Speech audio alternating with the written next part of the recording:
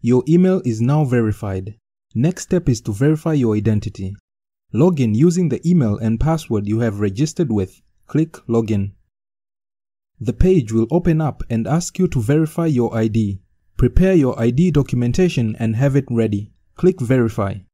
Choose one of three options to verify your ID, passport, driver's license or ID card.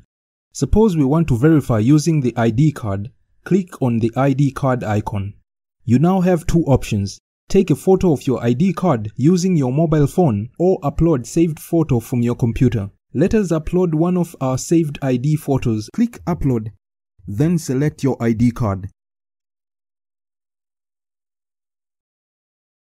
And click Confirm. This photo cannot be allowed because a glare has been detected by the system. Before we solve this problem, let us take a look at the most common mistakes that are made when taking photographs. 1. The entire document is not visible in the photo. Make sure you include all four corners of the document. 2. Bad quality and unreadable text should be avoided. 3. Avoid glares. Check that the document and background are not reflecting light back into the camera. 4. The document image might be skewed. The ultimate position of the camera is right above the document.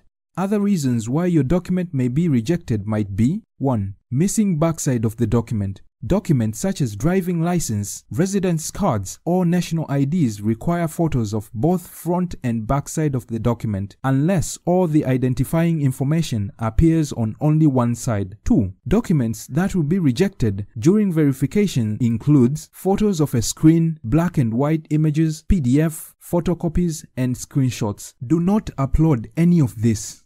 After seeing the common mistakes, now let us go back and upload a clear photo for verification.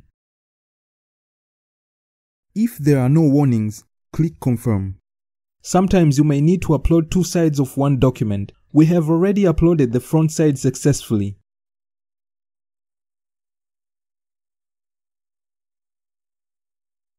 Now let us follow the same instructions and upload a clear photo of the backside of the document. And click confirm. You will then be redirected to a temporary page and once your identity is verified, you will receive an SMS notification. Please note that the verification may take 5 to 15 minutes. If you don't have any saved photo, you have an option to take them with your phone. Follow the link shown here and follow the instructions. Enter your phone number and click send link. Remember to leave your browser open. You will receive an SMS with a link to the upload site. The link directs you to a website that requests you to upload your photos. So let's take a photo on this case. Place the document on a flat surface. Then position your camera above the document and make sure to capture a clear image. And lastly, click confirm.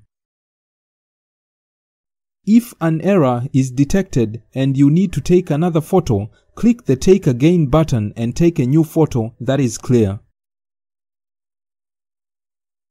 And click Confirm. Now follow the same instructions and take a photo of the backside of the document. Check to make sure that it is clear and then confirm. A new page on your mobile phone will open that informs you if your upload is successful. Now return to your desktop and click Submit Document. It is important to click this button, otherwise your upload won't be saved.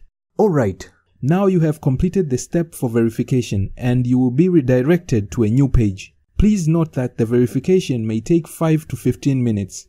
Just in case you missed it, let's go through some of the tips for making a good quality photo. 1. Begin by choosing a well-lit place. Then, 2. Position your back facing the window and face your camera away from direct light. 3. Lay your document on a flat surface. Make sure there are no other documents around it. Next, make sure that your camera flash is turned off. 5. Capture all four corners of your document. It's okay if there are margins around your document. 6. Take a shot. If you notice any glare, take a new shot of the document. 7. Now upload the document in full color. Now, watch our friend Ishad demonstrate this in real time.